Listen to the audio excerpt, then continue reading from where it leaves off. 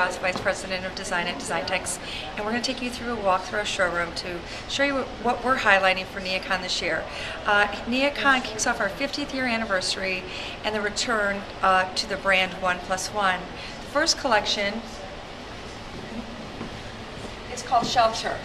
And um, shelter to me means what you put on your body and what uh, covers you in a home. Uh, that's kind of how uh, shelter came about. And working with the Museum um, of New Mexico, in particular the Museum of International Folk Art. And I went to Santa Fe uh, three or four times this year, and what I did was I really dove into the archives. They have a magnificent archive of costumes, they're top 10 in the world, uh, basketry, and pottery. And so this collection is a wonderful collection showing the different inspirations and, um, and bringing them into a more modern sensibility from a price point standpoint, performance, and also aesthetics. Um, I can show you a few of the fabrics. I think that would be great because then you can have an idea of, of what I thought process. One of the things that I tried to do was uh, come up with uh, unusual fibers to kind of highlight the beauty of old, um, uh, old garments.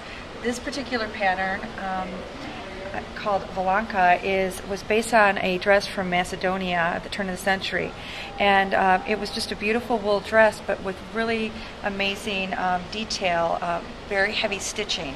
So this, uh, in, again, using really beautiful yarns to highlight and, um, and to produce uh, that kind of um, embellishment.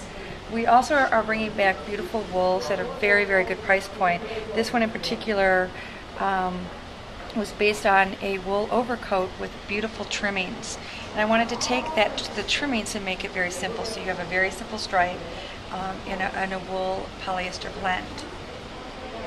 This particular pattern is called Rio Grande, which is the river that runs through um, uh, the city. And what it, it, it is is to, it's to duplicate the black and white positive negative of the pottery, and then show different colors going through it, like the pottery and the potters that make them.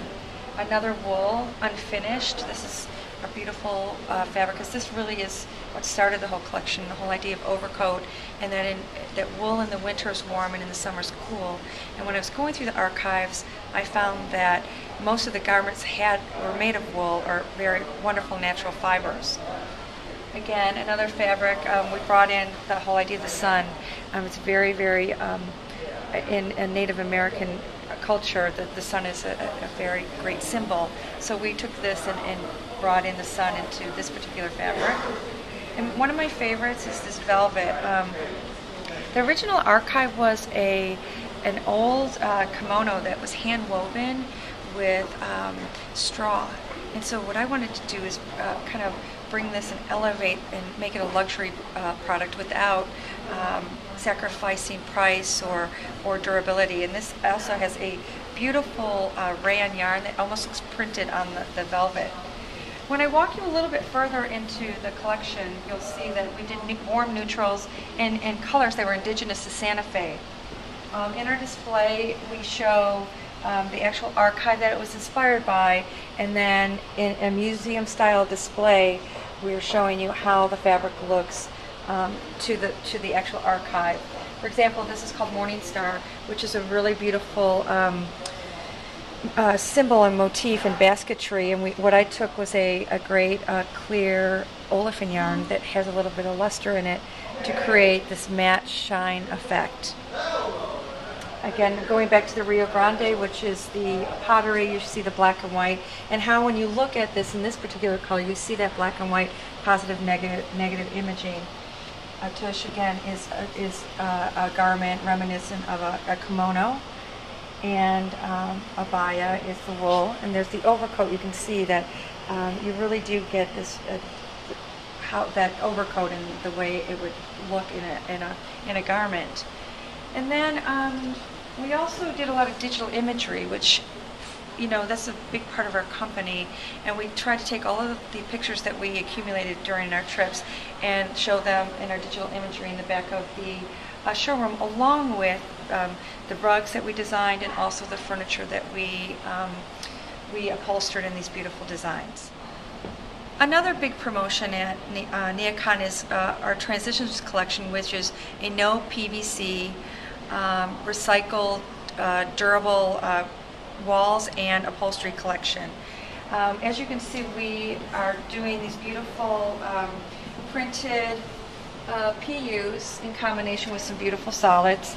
That you know, it's very difficult to print PUs, so we were very uh, excited that we were able to get um, beautiful design detail by either layering, um, which in one of our patterns um, we layered it so that you could see that we could really get some textural, almost like a woven uh, quality.